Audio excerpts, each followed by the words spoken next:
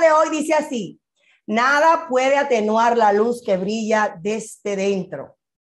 Esto lo escribió Maya Angelus y de verdad que sí, señores, nada puede atenuar, atenuar esa luz que brilla desde dentro.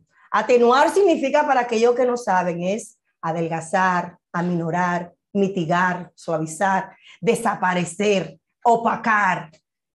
Cuando usted tiene una luz, Jonathan, cuando usted tiene una luz, pastora, cuando todos tenemos una luz dentro, ese brillo, esa, esa fuerza que viene de parte de Dios, ese propósito de vida. Eh, yo creo que desde chiquitica, todos nacemos, desde chiquitico, eh, todos nacemos con esa luz que nos distingue de los demás.